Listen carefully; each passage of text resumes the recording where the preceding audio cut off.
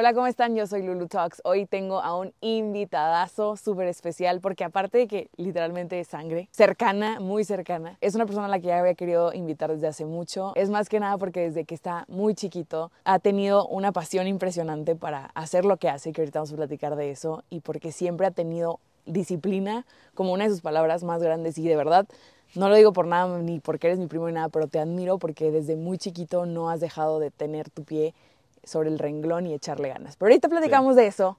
Tengo que primero presentarlo con ustedes, Eric. Bien, bien, muchas gracias por invitarme, la verdad, emocionado. Me gusta escuchar los podcasts, entonces es como un, mini sueño, vamos a decir, el, andar en un podcast. me emociona. Ay, qué padre, pues es sueño mutuo. Sí. Me da mucho gusto que estés aquí y pues hoy quiero platicar con la gente un poquito de quién eres, qué es lo que haces, es por qué estás aquí, no solamente aquí conmigo, sino en este punto de tu vida. Pero primero que nada, platícale a la gente quién es Eric Peña, fuera del fútbol, fuera de todas esas ondas. Yo nací aquí en Saltillo y luego cuando tenía ocho años nos fuimos a Estados Unidos. Cambió mi vida, pero nos acoplamos y estuvo, estuvo muy padre. Este sí, ahorita estoy en lo del fútbol y también estoy estudiando en una community college ahorita en un degree de negocios, pero no estoy seguro en qué quiero qué quiero estudiar específicamente, pero ahorita con las básicas nomás de, de negocios. Sí. Oye, entonces cuando tenías ocho años te fuiste a Estados Unidos y qué tanto cambio fue eso para ti, o sea, estabas chiquito. Sí, sí, sí. Yo creo que el estar chiquito ayudó, ¿no? Yo creo que cuando estás más chico te acoplas más rápido a, a diferentes situaciones, entonces fue un poco difícil, pero también fue padre para mí un cambio. Yo creo que aprendí a hablar inglés muy rápido, no, eso no fue difícil para mí y para mí era como algo nuevo, ¿no? Entonces, cuando me dijeron, estamos de vacaciones, estaba llorando, pero luego ya que llegamos ahí, te digo, ¿no? O sea, emocionado por una nueva vida y la verdad que lo disfruté mucho desde el día que llegué. Qué bueno. No, yo me acuerdo cuando estaba chiquito, estábamos, sí, cierto. No me acuerdo si eran vacaciones de verano o Navidad, no me acuerdo. Pero me acordaba que, o sea, practicaba porque estaba nervioso de que, chingas, voy a cambiar mi vida. Sí. Pues sí, es un cambio radical porque aunque muchos pensemos, yo sé que estamos en frontera a veces y, está muy cerca. Yo vivo en Nuevo Laredo y Laredo, él, como dijo, ya vive, vives en Carolina del Norte. En Carolina del Norte. Pero pues vivió en Saltillo, ahorita estamos de hecho en Arteaga. Y sí es un cambio bastante radical porque te cambia no solamente el idioma, cambia la cultura, cambia el tipo de personas con las que te familiarizas. Sí. ¿Y tú piensas o, cómo te sientes que crees que el haberte ido aumentó tus posibilidades de estar en el lugar en donde estás o, crees que fue un empuje o simplemente a lo mejor el camino hubiera sido parecido? Yo como veo la vida yo creo que hubiera llegado donde estoy de todos modos. Yo creo que sí, como te digo, me ayudó a acostumbrarme a esos tipos de cambios en mi vida que he vivido, me ayudó a eso, pero como yo veo la vida yo siento que yo hubiera llegado a donde estoy, sea como sea.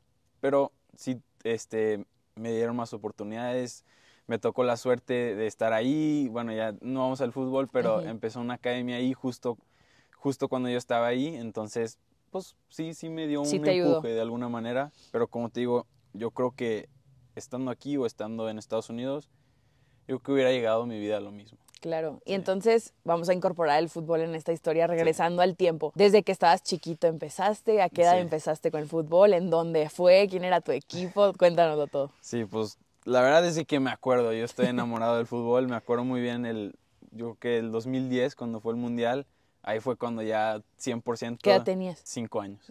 y sí, me acuerdo perfectamente y estaba muy chiquito, pero Sí, no, mi amor al fútbol he sido desde que me acuerdo. Fui ahí en la escuela, en, el, en mi escuela en el Colam, y luego entré a un club que se llamaba Guerreros, jugué ahí creo que unos dos, tres años y luego ya cuando me fui a Carolina del Norte pues obviamente tuve que cambiar equipos, jugué para un equipo local ahí y luego me cambié a otro equipo que me invitaron a jugar y luego ya después de jugar en ese equipo que se llamaba Queen City Mutiny, este como estuve ahí un muy buen tiempo, me invitaron a lo que llaman aquí como fuerzas básicas, que son las academias de los equipos de profesionales y luego ya de ahí dio todo. Dio todo. Oye, y entonces cuando empiezas de chiquito, o sea, ya se veía que, pues porque eres bueno, obviamente, ¿verdad? Te, da el don. Digo, yo lo sé porque soy prima y en la familia era como viendo el video del primo que corría bien emocionada. Sí. Pero, o sea, los maestros, tus entrenadores, te decían de que, qué onda con este niño o... Sí. Sí, yo creo que desde chiquito también mi amor al fútbol no se comparaba con los demás. es que tengo que pausar esto. O sea, es importante que entiendan que si por Eric fuera, o sea, iría a los bautizos, a las bodas y todo, iba en shorts y la camisa del América, aparte. literal, No, sí, literal. Este, pero sí, como te digo, o sea, yo creo que. Y eso se. O sea, la gente lo notaba, ¿no? Yo siempre quería estar jugando fútbol. Entonces decían, pues no, este niño la, va a llegar a alguna parte porque lo único que quiere hacer todo el tiempo es jugar fútbol. Entonces, pues de tanto tiempo que lo jugué y bueno, un talento, pues me hice bueno y pues empezaron a, a darme oportunidades y las, las tomé, yo creo. Claro. Oye, y hablando del talento, ¿qué tanto porcentaje, de un 100%, qué tan importante es el porcentaje del talento? La verdad. Sí, este, yo creo que es imposible decir que no importa, el talento obviamente importa, tienes que ser, tienes que tener de alguna manera un talento en lo que haces, pero a mí en lo que estoy viviendo me ha tocado demasiados ejemplos que hay gente que tiene más talento que otros, pero los que siempre llegan son los más disciplinados. Y eso te digo, me he dado cuenta. Yo, como dijiste tú, desde chiquito se me veía esa cosa que tenía un talento, pero ya como vas creciendo, me di cuenta que no todo es el talento. Yo llegaba a algún lugar nuevo, te, te dije sobre el Queen City Mutiny, yo llegué, era un equipo local, digo, no te conocían. No me conocían, estaba en la banca por el primer año. Probablemente tenían más talento los demás, o bueno, quién sabe, pero después del tiempo yo me fui ganando esas oportunidades y estuve encima, yo creo, de los demás un poquito por el simple hecho de trabajar. Yo creo que desde chiquito, como te digo, el amor, yo, yo qué sé, la pasión al fútbol me hace estar muy directo y cuando yo quiero algo, pues me pongo la, cabeza abajo y, y, trabajo, ¿no? Y, y como dices tú, yo creo que sí importa el talento, pero creo que importa mucho más el trabajo. No es todo. Sí, no, la verdad que no es todo. Y te digo, me ha tocado muchos jugadores que tienen el talento enorme, pero no son disciplinados, no trabajan este, fuerte, no trabajan duro y no llegan, no llegan y, ya se quedaron atrás y hacen otras cosas con su vida, pero también tenían ese sueño, pero por no ser disciplinados no llegan tan lejos, sí. No, sí, yo definitivamente, o sea, ni siquiera al nivel, ni cerca, yo era la aguadora número uno de mi equipo de voleibol por años, este, ya mucha honra, pero yo recuerdo perfectamente una experiencia en donde una chava que era buenísima para el voli llega al partido y la maestra me pone a mí. Y la muchacha se molesta y le dijo, es que no viniste a ningún entrenamiento en los últimos, no sé, semanas, meses. Y dijo, y pues Lulu sí, o sea, no sé qué está pasando. La Pero fuiste a los entrenamientos. Pero vi entrenamientos. Y fíjate que esa experiencia para mí fue una gran, un gran aprendizaje porque dije, ok, definitivamente alguien sí se está fijando que vienes y que le echas ganas y que a lo mejor no eres la mejor, pero echas ganas. Repito, no es que no seas el mejor en absoluto, eres muy bueno y claro que tienes el talento, no estás ahí de gratis. Pero sí creo que eres un conjunto de aparte de disciplina, eres un conjunto de liderazgo. Te ha tocado muchísimas veces ser capitán de tu equipo, ser el capitán del, del, grupo, este, ser el que da el speech o el líder, lo que sea. Y eso aumenta puntos a tu... Sin duda. Queremos a Eric en el equipo, ¿no? Sí, yo creo que como dices tú, alguien siempre se da cuenta de esas cosas chiquitas de que, ah, fuiste al entrenamiento, nunca faltas. Esas cosas chiquitas parecen que no, pero a largo plazo alguien siempre las nota.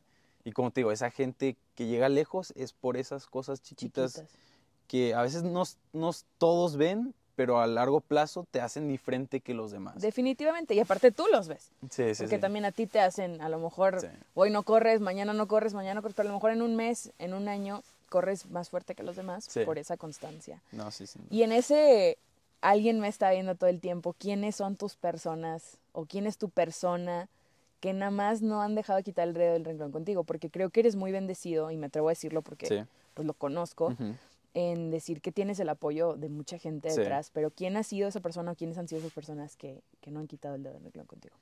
Yo creo que mi familia, ¿no? Mis papás han estado conmigo desde que tengo cinco años y, me gusta tanto el fútbol. Yo creo que mi familia, hasta mi hermana, digo, lo bromeamos, pero mi hermana también tuvo que hacer sacrificios para, para que yo llegue a donde estoy. Pero sí, como te digo, mis papás, digo, yo les digo gracias siempre, pero con palabras no puedo expresar, la verdad, lo agradecido que estoy de lo que me han dado y lo que han estado por mí a mi lado. Este, mis papás me llevaban una hora de ida y otra de regreso todos los días desde que tengo 12 años y eso pues la verdad no cualquier papá, no, o sea, la verdad que sí, mis papás son, Sí, son enormes mis papás, son grandiosos, la verdad. Eh, confirmo. Oye, y asegura, aparte, o sea, está difícil eso de, de, creer, digo, lo digo porque decimos siempre que somos los raros de la familia, porque pues los dos vivimos un sueño diferente, ni siquiera estoy siendo ni bueno ni malo, solo diferente. Soy conferencista y pues tú eres futbolista también. Sí, sí, sí. Y es difícil encontrar gente que, que crea en tu sueño. Sí, sí, sí. Y aparte, definitivamente no los necesitas, porque como uno debe creer en sus propios sueños. Sí. Pero sí es un gran apoyo, ah, sí es un gran empuje tener, sobre todo tu familia, que digan de que va, haz tú lo que eras, confiamos en ti. sí, sí, sí. Y aparte no quiten el dedo, ¿no? No, así como dices tú, yo creo que muchos papás cuando un niño de chiquito le va a decir, ah, no, yo quiero ser futbolista o yo quiero ser... Todos quieren ser futbolistas aparte, la neta. Sí, sí, sí. O sea, se ríen de alguna manera porque es, es un sueño, pues no lejano, pero que muy poca gente llega. Y como dices tú, también el ser conferencista, o sea, como que a veces gente se ríe porque pues es difícil, ¿no? Es un sueño, como dices tú, diferente, no es normal. Pero pues a veces esos son los mejores sueños, ¿no? Yo creo que eso es lo que lo hace padre, ¿no? El que sea difícil entonces cuando llegas es todavía mejor, ¿no? Porque es un es una carrera o algo que mucha gente no hace, entonces cuando llegas, pues bueno, la gente te admira, como dicen, no te apoyan tanto. Sí. No mucha gente te apoya cuando estás en el proceso de llegar. Pero bueno, pues cuando llegas mucha gente te admira. También te aplaude, sí, claro. Sí, pues es, es, es, algo muy padre. Sí, es muy padre, porque aparte creo que es un... Es difícil llegar, porque sí es muy difícil llegar y también es muy difícil mantenerte. Ah, no, sin Que creo que eso también es complicado porque creo que los dos estamos muy conscientes de que es un trabajo que a lo mejor es temporal o que a lo mejor a veces hay dinero, a veces no, a veces hay oportunidades, a veces no, pero como quiera quieres vivirlo porque es lo que realmente te apasiona. Te apasiona ¿Estás de acuerdo que, o sea, si él pudiera estar pateando el balón todo el tiempo, todos los días, porque no te aburres? Sí, no, no, no. Y ¿Te ha pasado a lo mejor lo contrario, no sé, alguna experiencia o alguna persona o algo, no tienes que decir nombres, que diga de que nada que ver con tu sueño, Eric, o ni el caso, o que te la puso muy difícil para llegar a donde estás? ¿Te ha pasado también? No sé si tengo momentos de que exactos que yo pueda decir, bueno, en este momento alguien dudó, pero yo creo que en general, o sea, cuando yo estaba en clases, yo nunca dudaba en decir, yo no quiero ser un ingeniero, yo quiero ser futbolista, o sea, no, y, la gente se reía, yo, yo voy a ser futbolista, o sea, no, no dudo. Y mucha gente, te digo, me tocó maestros que no en mala, onda, pero de que te decían de que, ah, bueno, no, pero tienes que, digo, obviamente tienes que tener plan B, pero decían, ah, o sea, cálmate, ¿no? O sea, pero sí, yo creo que en general siempre va a haber gente que dude en ti, pero si te digo, no sé si puedo decir un momento que también me pegó a mí, yo no creo. Y también llegó un, un punto que ya eso no me afectaba a mí como que ya era lo normal, que, que es un sueño diferente que no me importaba la verdad lo que la gente pensaba. Lo aceptas, ¿no? Sí, sí, sí, era ya como que parte de... No me crean, no pasa nada. Sí, sí, Al rato les enseño. Oye, ¿y tú?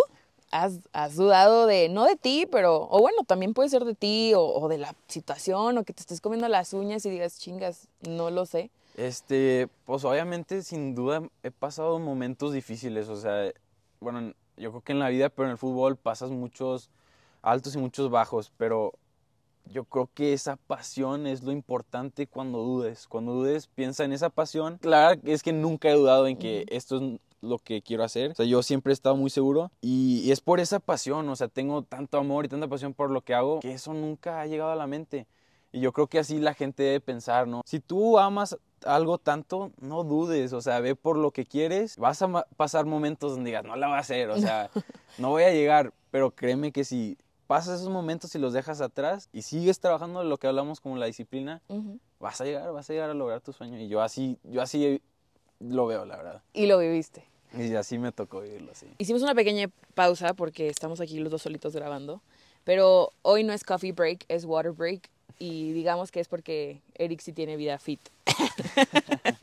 no, no es por eso, es porque no hay otra cosa. Bueno, y si tú pudieras decirle a la gente o a los que te están escuchando, porque no todos tienen el privilegio y, la bendición que tenemos tú y yo de tener gente que, que nos apoye en esta loquera.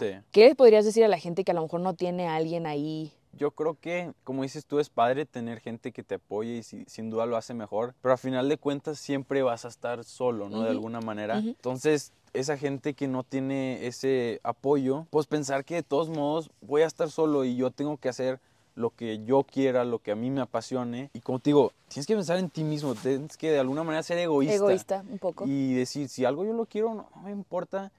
Digo, obviamente no ser, o sea, hay momentos en la vida que tienes que ser realista con sí mismo, pero yo creo que eso ya es después, o sea, especialmente a la edad que estamos tú y yo, o sea, puedes tener un sueño cualquiera, que gente se puede reír, pero tú, tú tienes que tener esa cosa que si en verdad eso es lo que quieres, no dudes, no dudes, no importa si tienes ese apoyo, como si tú lo haces más fácil sin duda, pero al final de cuentas tú vas a llegar, tú, tú eres la que... El que vas a entrenar, el que te vas a levantar temprano, o sea, eres todo el de... Es tu vida, es tu vida, entonces tú decides lo que quieres hacer. así es. así lo veo. Y es difícil, o sea, creo que sí es súper difícil, pues encontrar primero eso que te apasiona. También hay tantas cosas, pero creo que uno debe tomarse el tiempo de parar. Digo, obviamente a ti te tocó súper chiquito, qué padre, que ya sabías. Yo la verdad no lo tuve tan chico, pero después si te pones a pensar como en los momentos que has pasado en tu vida, dices, es que todo me llevó a esto. O sea, la neta, es una broma, pero nunca me cayó la boca. o sea, me apasionaba pararme enfrente del público a hacer una oratoria y no sé, o sea, cositas que, que sí te van moldeando a esto que... y es cuando te pones a pensar, te digo, tus talentos, ¿cuáles son? ¿Qué me gustaría? O sea, a ti te levanta todos los días saber que vas a ir a jugar fútbol. Sí, sí, sí. O sea, esa tener esa pasión y para muchos va a ser una buena carrera, va a ser ser mamás, ser papás, este, no sé, ¿verdad? Es diferente para cada quien. Creo que en esta, o sea, tú dijiste que, no dijiste qué edad tenías.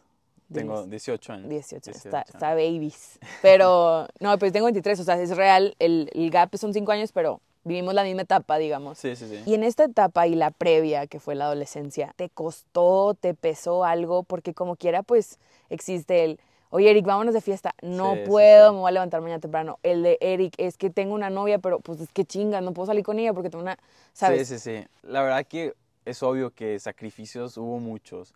O sea, como dices tú, yo nunca, nunca salí de fiesta, o sea, en mi adolescencia nunca hice cosas que me podían afectar a, lo, a, cómo jugaba el siguiente día. Y de alguna manera pues me perdí algunas cosas que un niño normal de mi edad vive. Entonces, pues sí son sacrificios, pero es difícil decir que me arrepiento obviamente porque, como te digo, esa pasión, yo veo atrás y digo, sí, me perdí esto, tal vez poder tener una novia o lo que sea antes, pero no hubiera estado aquí. Entonces, para mí, todo eso que me perdí, valió la pena perdérmelo, ¿no? Y bueno, yo siempre lo he dicho, yo digo que no soy un niño normal, a mí eso nunca, o sea, me emocionó el salir, el ponerme borracho, el tomar, el salir con los amigos tarde. ¿No te interesaba? No, o sea, si me afectaba para el fútbol, decía, ¿para qué? O sea, yo me puedo perder eso y no tengo problema. Sin duda sí son muchos sacrificios, o sea, yo todo mi último año de prepa no fui y pues es un poco difícil a veces porque en esta necesitas andar con gente, necesitas platicar con gente nueva, conocer a gente nueva. Pero como te digo, yo creo que eso va a llegar y para mí es, bueno, no pasa nada porque llegué aquí. Claro. Y la, la emoción que fue el, bueno, el, el, lograr esto de firmar mi primer contrato y, y, vivir lo que viví, vale la pena porque haces muchos sacrificios, pero lo, la gente que conoces en el fútbol, los amigos que haces en los viajes, las memorias que, que se quedan contigo por siempre, créeme que valieron, la, pena y nunca he dudado que ah, hubiera quedado en la escuela y, o sea, no, eso para mí nunca fue una duda, o sea, la verdad no. Claro, pero es cuando tú sabes perfectamente que, que eso que, pues sí, que dejaste ir o que sacrificaste, realmente ni siquiera a lo mejor es un sacrificio, a lo mejor simplemente fue dejar ir ciertas cosas, priorizar otras y, y escoger que era lo realmente importante. Entonces ya, ya lo mencionó, que nos platique un poquito de, de, la firma de tu primer contrato, obviamente a lo que, a lo que puedas con, este, comentar y a lo que puedas contar, pero ¿cómo fue? ¿Qué sentiste? ¿Tus papás? ¿La espera? Todo el proceso. No, pues sí, la verdad que desde que llegué, bueno, desde que tengo cinco años otra vez, el firmar un contrato profesional, pues ha sido mi sueño pero más cuando llegué a, a, Fuerzas Básicas, a la academia en Charlotte, yo todos los días iba a entrenar o me levantaba con ese sueño de firmar mi, mi primer contrato profesional y siempre decía, yo quiero firmar un contrato, yo quiero firmar un contrato. Entonces, pues sí, yo pasé dos años en la, como le llaman la sub-17, en la academia, este, y luego empecé con el segundo equipo. Este, estaba con una universidad, pero luego llegó el punto que me dijeron, bueno, te puedes quedar aquí este, unos seis meses más y puede que en esos seis meses te ofrezcamos un contrato. Qué miedo con él puede. Exactamente. Porque no, la verdad, puede que sí, puede que no. Pero volvemos otra vez a la pasión. Yo, obviamente lo pensamos, pero yo me quedé con la cosa de, yo puedo ir a estudiar cuando quiera en mi vida, la verdad. Pero el quedarme estos seis meses nunca los voy a vivir otra vez y no me quiero quedar con la duda de que, ¿qué hubiera pasado si me hubiera quedado? O sea, tal vez hubiera firmado ese contrato. Entonces, bueno, pues no, no salió bien, nos quedamos, pero aún este año no me dijeron nada hasta el final de la temporada y yo me quedaba como que, no, pues Qué ya. Nervio. Sí, las aplicaciones para la escuela pues ya, se, ya van cerrando y yo, yo no he hecho nada porque no puedo saber qué voy a hacer todavía. Entonces, pues, era nervios y todos los partidos era, ay, o sea, quiero que me metan para enseñar que yo... para demostrar lo que soy. demostrar que yo merezco estar aquí, ¿no? Entonces, sí. este, por fin llegó, después de mucha espera y cuando me dijeron que, que me iban a ofrecer un contrato, todavía ni siquiera llegaron a detalles, para mí fue o sea, no, no podía parar de sonreír. No, o sea, imagínate. Después de tanto trabajo, sí, y como dices tú, mis papás, mi familia, que siempre ha estado ahí conmigo, yo creo que fue esa misma emoción de ellos como la mía, porque ellos saben, no nada más lo que yo he pasado, pero lo que todos eh, nosotros hemos pasado, todo el sacrificio que hemos hecho todos. Entonces, sí, como te digo, eso eh, no es más un logro para mí, yo creo que es un logro para toda la familia. y digo, para mi familia, mis papás y mi hermana especialmente, pero también para todos esos tíos, primos, Confirmo otra vez. sí, que, que, siempre, como dices tú, me han apoyado. O sea, nadie nunca de mi familia siempre, no, pues tú ve por tu sueño. Aunque sea un sueño difícil, tú la vas a llegar, tú la vas a llegar, sigue trabajando. Y como dices, todos esos, esos apoyos ayudan. Entonces, sí, te digo, un día increíble para mí, pero así un logro un logro para toda mi familia. No, definitivamente. Y, o sea, confieso, confieso que estaba yo trabajando. Yo ya sabía, porque, o sea, ya nos habían comentado, pero pues todo era como no pueden todavía publicar nada y así. Y veo las fotos y yo estaba trabajando y así en modo señora, de que los ojillos se me llenaron de lágrimas, porque sé perfectamente, como dices tú, no solamente el sacrificio que tú estás haciendo, sino el que, el que han hecho tus papás, este, pues realmente toda la familia, ¿verdad? Sí, sí, sí. Pero aparte de eso era como, wow, o sea, de verdad te lo digo bien, fue un momento para mí muy importante porque me diste en el clavo. Yo he pasado últimamente por meses en donde pues no le veo, no le veo luz a la luz del final del camino, pero tampoco siento que le he echado todas las ganas que puedo echarle. Sí, me y esa disciplina y ese esfuerzo que, que debo de estar constantemente poniendo, no lo he puesto. Y para mí fue de, si llega. Exactamente. Y no importa cuánto te tardes, obviamente estás súper joven, apenas está empezando tu vida, pero yo también, o sea, sabes, de que... Y realmente no importa, o sea, de verdad no importa la edad que tú tengas, si hoy tienes un sueño, quieres cumplir algo, por más loco que suene, por más extraño, por más... El volver a ir a estudiar, hasta tú lo dijiste, no, puedes hacerlo en cualquier momento de tu vida. Entonces, sí, de verdad fue un, un parteaguas para mí, así que te agradezco porque sé que no sabes, pero lo haces y estoy segura que no fui la única. No, sí, y como decías tú, yo creo que nos, lo que nosotros queremos hacer, nuestros sueños son diferentes y como dices, no toda la gente siempre nos apoya, entonces los bajos a veces son muy bajos, ¿no? O sea, llegas a un momento de que tal vez no dudas, pero de que, ah, o sea, de que está difícil. Sí. Está difícil porque no sé, e, estas, ese tipo de carreras no son muy directas, ¿no? Hay otras, otro tipo de carreras, bueno, vas a estudiar, vas a esto, vas a esto, vas a una internship, vas a tener un trabajo después, pero esos trabajos estás de alguna manera siempre solo, entonces los bajos a veces te sientes solo, ¿no? Y aparte nadie te entiende, o sea, dices como que por más que la gente diga que sí, qué lindo, échale ganas, es como que sí, pero... Sí, sí, sí. Sí, no sé cómo explicarte que está difícil. Sí, yo creo que como te digo, te sientes solo, pero tienes que saber que, como dices tú, nosotros somos privilegiados, que tenemos papás que nos apoyan un chorro. Uh saber que no estamos solos, a saber que esas personas siempre van a estar ahí, pero al mismo tiempo nosotros nos tenemos que levantar solos, ¿no? O sea, necesitamos ser conscientes y decir, bueno, no estoy trabajando lo suficiente. Pues déjame, me pongo las pilas y trabajo lo suficiente, ¿no? Sí, ¿no? Definitivamente. Porque como te digo, yo creo que mucha gente, este, con eso de la disciplina y así, dice, no, yo trabajo muy fuerte, yo trabajo lo más que puedo, pero ellos en su mente son conscientes de que puedo haber hecho más, claro. puedo haber hecho más. Entonces, para mí, bueno, la manera que me gusta vivir la vida es, bueno, si no llegué, me morí por llegar. O sea, hice todo lo que pude hacer por llegar. Bueno, si no llegué, es un aprendizaje y es un diferente camino. Pero no tener dudas de que el esfuerzo no fue lo suficiente. Eso es clave. O sea. Que no quedó en tus manos hacer un mayor esfuerzo. Exactamente, sí, exacto. Tengo una pequeña dinámica. Usualmente tengo un cookie jar, Lulu Talks cookie jar. Pues no la traje, pero traje, sí traje papelitos del cookie jar y los puse en un homemade cookie jar. Entonces, realmente son preguntas o retos. Si la letra está fea es porque es de mi hermana. Saca uno y haces ahí lo que diga. Este, tres palabras que definen tus logros.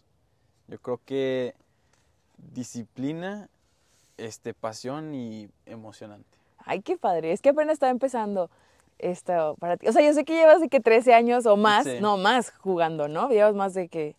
Sí, jugando, sí, pues yo voy a decir 13 años. pues sí, o no sé, muchos, pero... Sí, mucho tiempo. Realmente tu carrera está a punto de empezar. Sí, es una nueva etapa. Es una nueva etapa. ¿Y qué sientes? Además de emoción, o sea...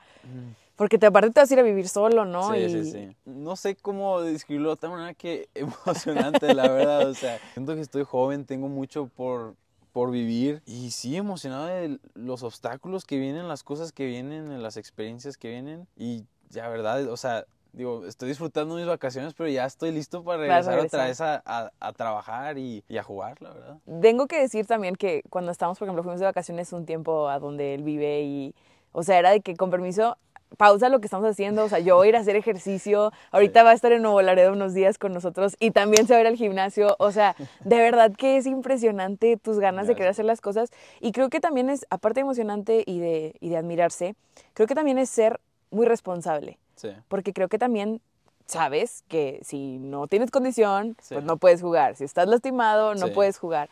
Y, y, creo que a veces es eso, de que lo más difícil es saber que no todo es color de rosa, que ya obviamente ya llegaste al punto donde querías, pero pues de aquí hay otra meta ahora, supóngome yo, este, y pues que siempre va a haber más y más y más y más, y, vas a poder llegar hasta donde tú quieras, pero sin quitar ahora sí que las ganas de querer echarle ganas. Sí, no, sí, yo creo que, como si estuvieras echarle ganas porque hay cosas que, bueno, yo quiero, como lo dijimos, es sueño y la pasión del fútbol, pues es, es claro, ¿no? Pero hay cosas que tienes que hacer para llegar, que no necesariamente es de que lo más emocionante o de que, ah, o sea, de que, por ejemplo, el no poder comer lo que tú quieras, bueno, pues no es algo que, ah, no es algo padre o a veces el tener que todos están aquí y tú tienes que ir a correr, o sea, a veces pues no, te da flojera, sí. pero tienes que pensar en que, bueno, esto lo estoy haciendo porque me va a ayudar Tiene aquí, un fin. entonces, sí, no, no siempre vas a tener la motivación de hacer las cosas, pero tienes que ver a, a, lo que vas a llegar, no siempre a lo que vas a hacer, sino a lo que esto te va a ayudar para lograr en el largo plazo. Entonces, sí, yo creo que esa es la disciplina, ¿no? No siempre vas a estar motivado. Entonces, la disciplina es importante. ¿Y tienes alguna otra manera o alguna otra cosa que te motive?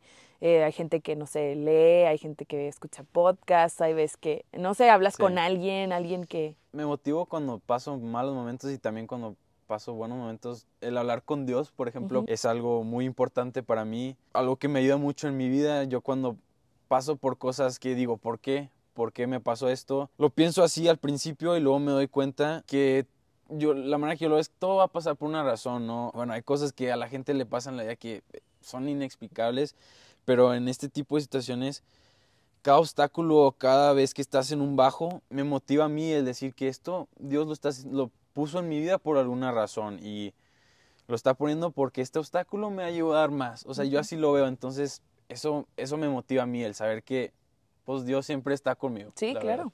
Y hay que no siempre hay un por qué, hay un para qué, ¿no? Exactamente. Y eso, es, eso es bien interesante. Qué padre que lo ves así y la verdad, eso, eso creo que es también una clave muy importante. Yo también creo en Dios y yo también estoy muy agradecido humano, pero a veces también se me va de las manos el, molestarme o el no entender por qué las cosas o por qué no se me dan en el momento en que las quiero. y pues a veces somos medio necios, ¿no? Pero definitivamente todo siempre hay un plan mayor y un porqué. Y ahora sí que regresando a tu pasado y hablando un poquito, ¿cómo se ha vivido el fútbol en tu casa? Porque yo sé, sobre todo en, en, lo que es los Peña, los Peña son súper apasionados del fútbol, entonces creo que les diste en su mero mole. Sí, sí.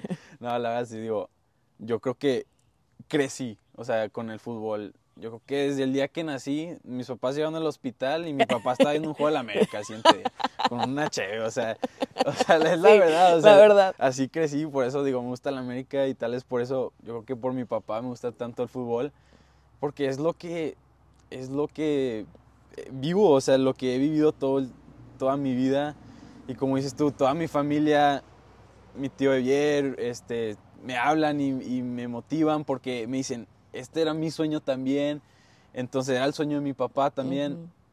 Entonces sí, o sea, tengo una familia que pues también le apasiona apasionada. sí. le apasiona mucho el fútbol, entonces pues está muy padre también ahorita que logré esto, pues como te digo, es un logro de ellos también y, pues les emociona mucho, ¿no? Claro. Entonces, no, pues está lo padre, sí. Y fuera del fútbol, tú, Eric, ¿tienes alguna meta, algún eh, sueño de algún otro rama o algún otro rango de tu vida que, que sea, o qué es lo que sigue para ti fuera del fútbol?